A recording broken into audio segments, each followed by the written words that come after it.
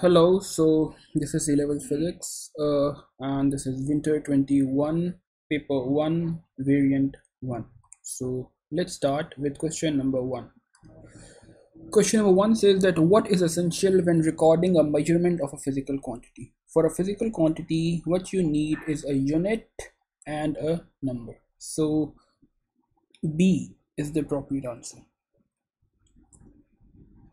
Question number two says to find the SI base units of mu where E is charge, M is mass and T is the time. So that makes up mu equals Q over mass multiplied by time. So this would be IT square over mass. So that would become ampere second square kg minus 1. So that would make up B the appropriate answer. Question number three says that there is an aircraft which has an, a velocity relative to air 800 km per hour with angle theta from north and the wind velocity is 200 km per hour in this direction west and the resultant velocity of the aircraft is in a direction due north so let's make up a triangle so this is our vector triangle. This is the velocity of the aircraft relative to air. This is the velocity of air which is 200 this is 800 and we need to find this. This makes up 90 degrees. So that's a right angle triangle. So we need to find VR so VR could be find from Pythagoras theorem. VR equals square root of 800 square minus 200 square. So which would make up 774 774 kilometers per hour. So 770 770 now let's find the angle theta. So this theta is this thing. So this is our angle theta. So we can find it from sine theta. Sine theta equals 200 over 800 which makes theta equals sine inverse of 2 by 8 or 1 by 4 as 14.4 degrees.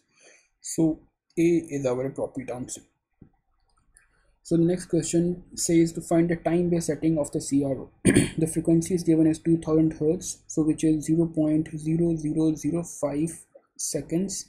This is the time period and it says to find the time base setting on the CRO. Let's apply the formula so the wave completes in complete in four blocks. So four blocks multiplied by the time base setting equals to the time period which is 0 0.0005 so the time base setting becomes 0 0.0005 divided by 4 which makes up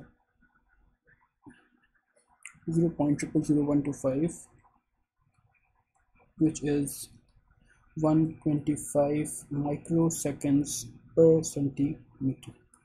So A is our appropriate answer.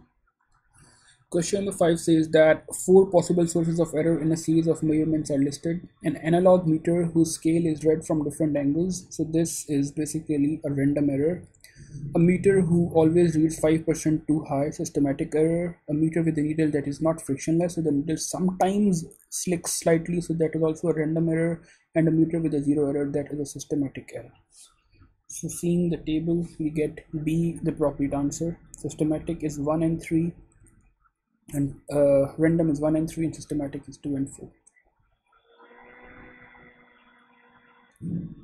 so question number 6 says that an archer shoots an arrow at a target. The graph shows three quantities PQ and R that vary with time. Which quantity could be the horizontal component of displacement and which quantity could be the vertical component of displacement? For horizontal displacement, we need to realize that the horizontal component the horizontal velocity remains constant. So if the horizontal velocity remains constant so the displacement time graph would be a straight line. So this is the horizontal component. This would be the horizontal component q and the displacement the vertical component of displacement would be this thing r because that varies accordingly. So our answer would be b. So question number 7 says that two cars x and y are positioned. car x moves at 30 meters per second, car y moves at 20 meters per second and they are both 50 meters apart. What is the value of t when x is level with level uh, with y?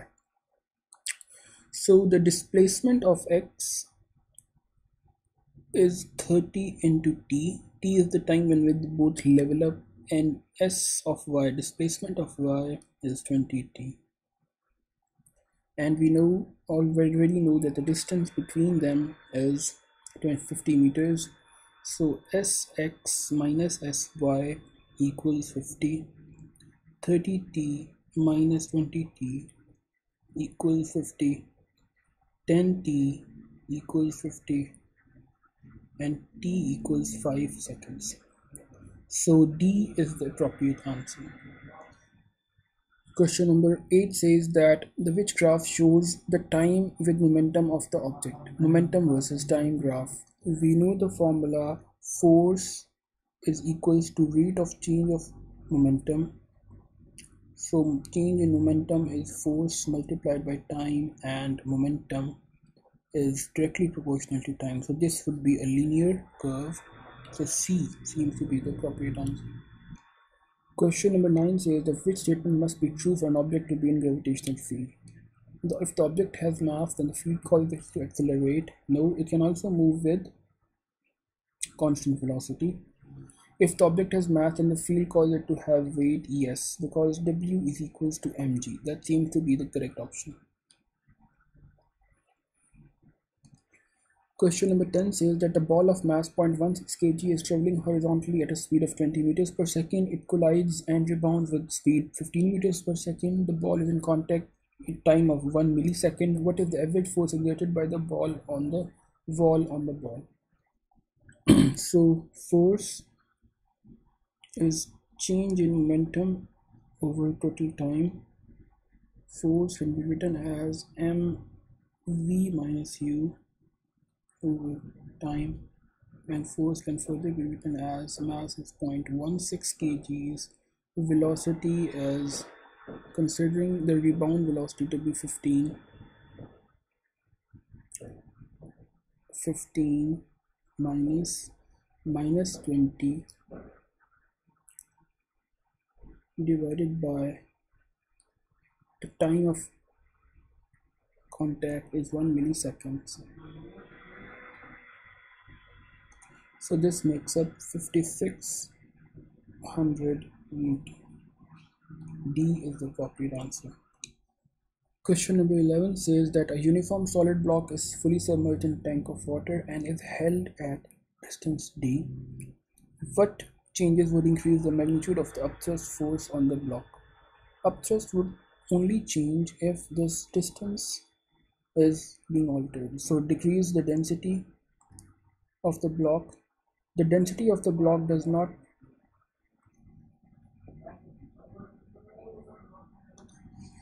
so it says that what single change would increase the magnitude of the upthrust force on the block. So pressure is force over area and force is pressure into area. The force could be written as rho g h into area. So the upthrust force would increase if these factors are changed or this rho density is the density of liquid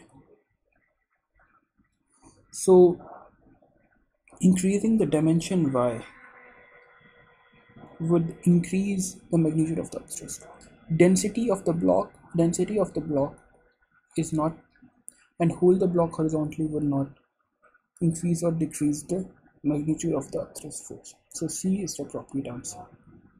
That's it for our this video. Do like and subscribe my channel for more videos. Thank you.